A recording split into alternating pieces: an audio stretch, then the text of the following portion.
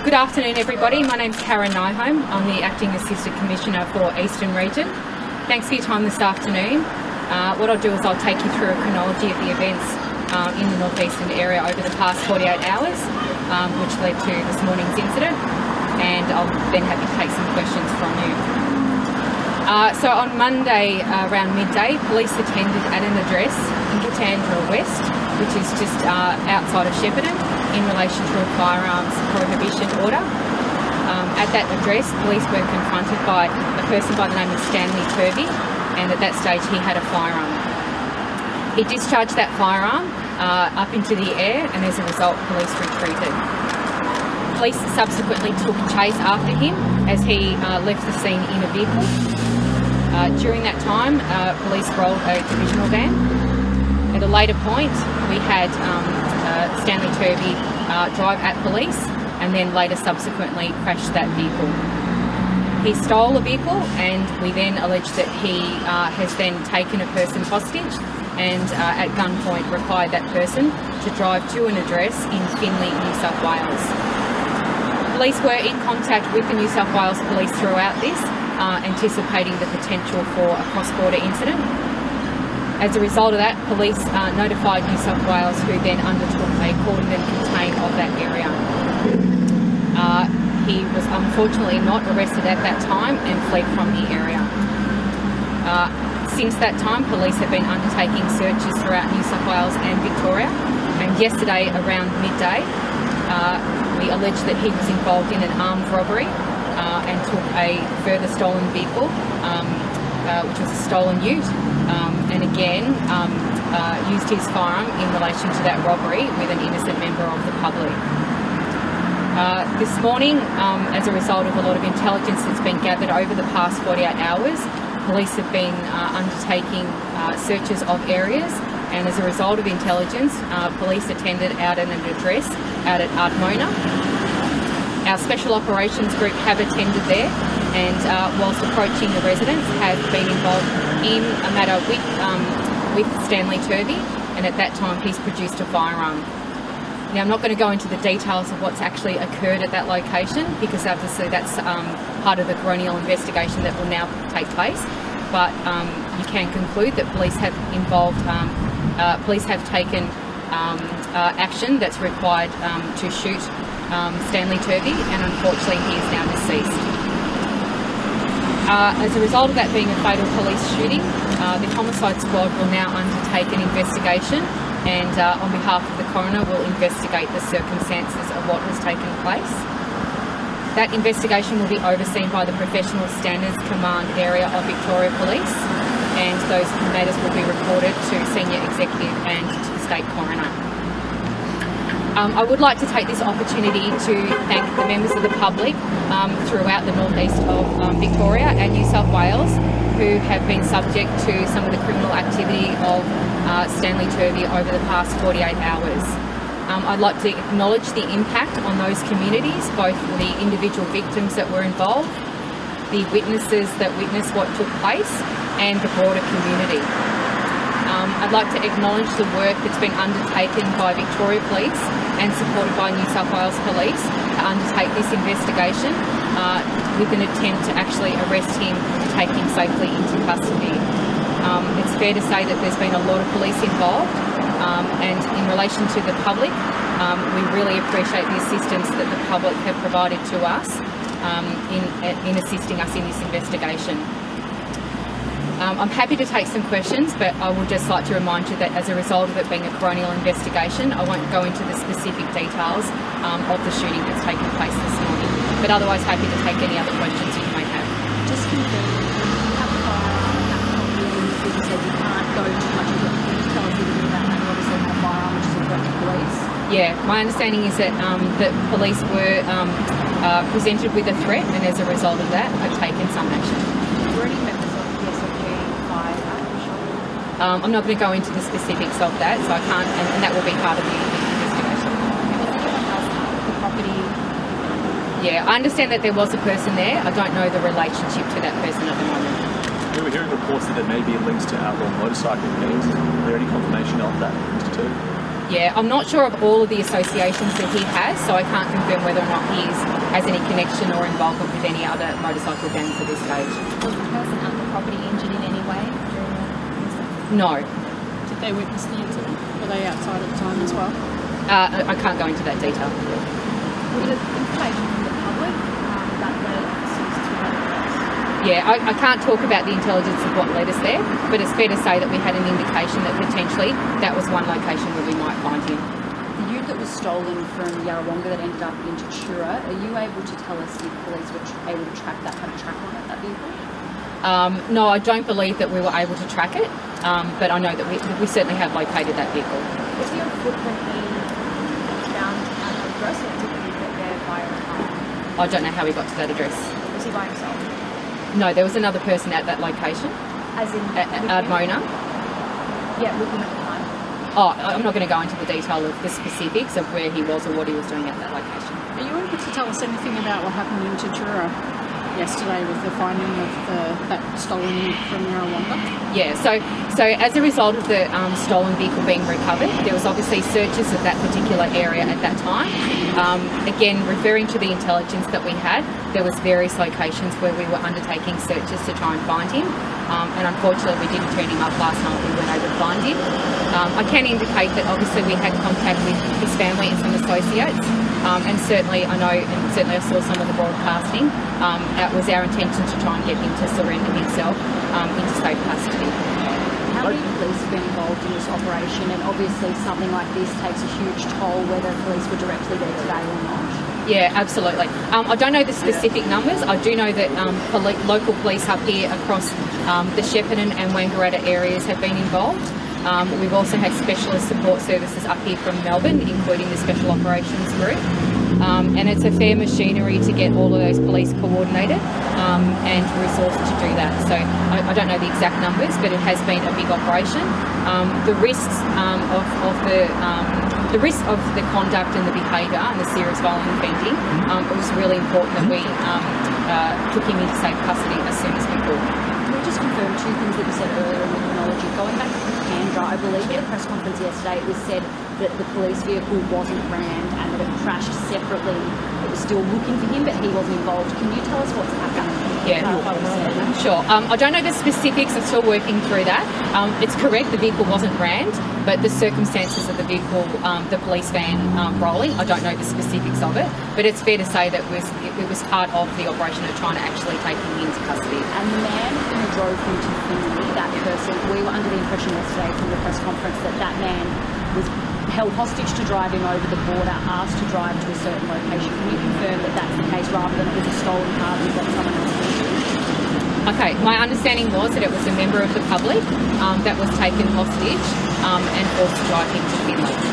So he already stole the car first, or it was that member of the public's car? Uh, I'm not quite sure of that. I believe it was actually that, that member of the public's car. And so just further clarification on the police rollover. So not a ramming, but because of his driving at the police car, it caused them to swerve and lose control. No, sorry, separate. So as part of it, there was various police involved in the um, response to try and obviously take him into custody.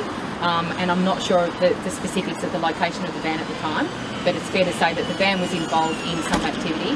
But I'm not suggesting that um, Turvey drove at that particular van or was involved in any branding of that vehicle at that time. So still at this stage, that car that did roll over, it was just in the pursuit of looking for Mr. Turvey and lost control. Of Mr. Rowan. So yeah, so it, it, um, in terms of investigation, so any time that police are involved in a pursuit or an evade, we will undertake a specific review of that. So whilst all of this will be part of a coronial investigation, that also will be subject to um, a pursuit review as well, and that's the, that way we'll understand exactly what's taken place um, and the specifics of it. So we'll understand a bit more about it then. Can you tell us when you were saying about, you said that the police car was involved in that one that rolled, Yeah. um, and then you said, and there was another car that he drove at. Was that a separate police car? Yes, that's correct. Where did that happen? Uh, I don't know the specifics of the locations. Was, was that sort of that before he'd gotten to you and Mike kind of time frame? It, it was it was subsequent to him fleeing the Katandra West Okay. address. Yeah. We've been, sorry, we've been told by um, people that we've been asked to stay with certain people around the area. Is there any further investigations to people who may have tried him? Um, I'm not aware of anything at this point in time, but obviously, um, subject to any kind of criminal offending that's occurred, what we'll do is we'll go through the chronology um, and make sure that we're comfortable that any um, offences as to how we actually account for those, what what has taken place. So, if there's any other criminal offending or harbouring or anything of that kind, we certainly would be looking into that. Has his associates been helpful in locating him and keeping police up to date on his movements? Um, I'm not going to go into the intelligence that we had in relation to how we found him.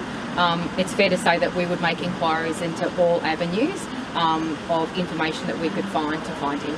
Being involved in an incident like this is obviously traumatic for police. Can you just tell us a little bit about the concern for as well, for the, the officers' welfare, I suppose? Absolutely.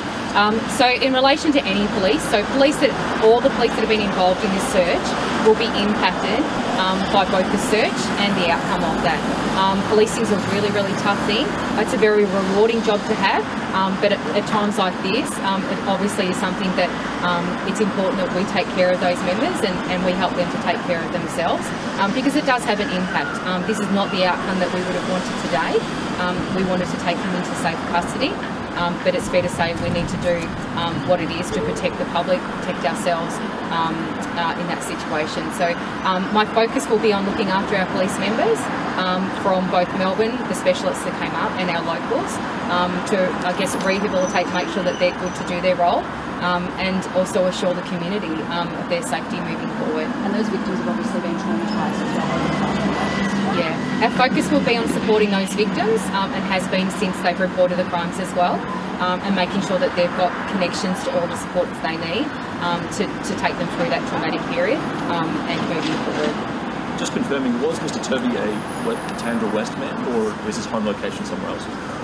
Good question. I don't actually know the answers to that. I believe he was from Katandra, but I'm not sure how long he'd been a resident for. The original search warrant for the firearm at Timber West property, is that, so he was there, but that's not where he lives, is that right? Uh, I'm not sure. I, I'm not sure of his home address. I just know that that's when um, I guess um, these 48 hours of offending kicked off. Um, that he was at, at that address at that time. Was that warrant, was it for Mr. Turvey or was it for another person that was at that property and he just happened to be there at the time? Yeah, it wasn't a warrant. It was actually a So fire. the, the Yeah, so a firearm protection order. And he still believes that that firearm was taken from that residence. That's what we were told in the press conference yesterday, that we got that firearm from the residence. Yeah. Um, look, if that's the case, um, my understanding, I certainly have been briefed on the fact that um, at that residence he was there with that firearm. And just in terms of, I suppose, that what happens from here, as well as the integrity of the network, will the, will the Melbourne Police be for quite a while, or what, what happens next with you guys? Yeah, we go through, um, there's various policies in relation to critical incidents of this kind. Um, and whilst I won't go into all of the detail of that, um, it's fair to say that um, uh, all the police that will be have been involved will be making statements, um, whether that's immediately today, this afternoon, um, or in coming days. They, they're required to take their notes, um, and we're required to undertake certain processes. Um, so some will be here for a while, and some will head back later this afternoon. He's been in prison before. Are you able to say what that was for and when? No, I'm not going to go into his criminal history. I think, out of respect to the family at this stage and acknowledging that he has a family, I think it's best to, to, to leave that at this point in time um, and simply talk about probably what's happened in the last 48 hours. Do you want to say anything to about family or to, to the family members about someone's been in touch with them? Yeah, so the next of kin has been notified. Um, I'd probably like to say and acknowledge that um, uh, to any family member that loses anyone in these circumstances will be traumatised, um, and I acknowledge that, and I'm sure that um, that there'll be a lot of um, uh, trauma that they'll have to work through, and certainly we'll be making sure that we provide that um, if they're open to that and willing. We're, we're here to do that. The coroner's office is fantastic at providing. Uh, support for, to people for um, traumatic circumstances, but certainly I'd like to acknowledge the impact that this would have on his family. Um, absolutely, they've lost a loved one, so um, you know it's not lost on us the impact on them. Suppose just to get a general question of how significant this was, three-day manhunt and went into New South Wales. Can you give us an idea as to the last time we saw something of this significance, or as a point of comparison? Uh, probably in my time, I'd say the last one was in relation to there was a hunt in relation to I'm not sure if it was two brothers or a, a, um, back in about 2015, I think it was. Um, we had a hunt that went across, I think, a couple of states at that time. Um, similar sort of thing um, uh, across the country, areas of Victoria, um, a manhunt that took place. I'd say probably 2015. So this is the most significant manhunt in regional Victoria since basically that. Yeah, it, it, to my understanding, yes. Did that one at the time? Did they go through the Shepparton area too, from memory? I, I don't recall. I think the local police might be able to tell me the answer to that. Stockos. Stocko, Stockos. that's it. Yeah, yeah, yeah. Just on that, it's been a huge police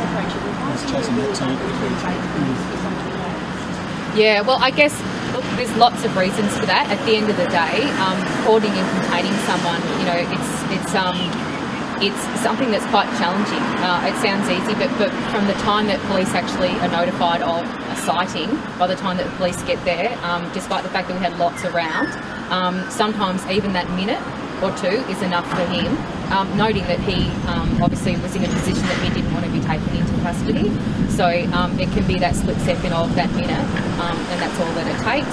Um, and obviously, um, you know, whether it's been driving his own cars or other cars, getting into cars, getting on foot, um, that's that's how you can slip slip the net pretty quickly. And, and just confirming the unknown of whom police don't know how to recruit those people. We don't Yeah. know who they are. Uh, I don't. We'll be working through that as part of the investigation. Is that a Uh, I'm not sure. I just know that we had intelligence this morning um, that took us to that address. Were the public? Did you get many? Um, I know you widely asked for anyone who sighted him to be calling triple zero. Was there many tip-offs from the public throughout these whole three days? Um, I, I won't go into numbers um, or, or details of it, um, but with anything of this, we've always got members of the public that are, are happy to assist us with what they've seen, um, and I think that's part of them being responsible um, in terms of their own protection of their community as well. Um, so yeah, no, won't go into the quantity or the, the quality, but certainly we did have um, members of the public contact us. Okay. Thank you. Thank you. Thank you. Please travel safely back. Thank um, you. You don't need to record it, but please travel safely because our road toll is really significant, and I'd hate to think that you were going to land on the road. So travel safely, and Thank thanks you. for your support, all of you. Thank you. Thank Thanks for your reporting. Thank Pleasure. you. Guys, this car's got to back out.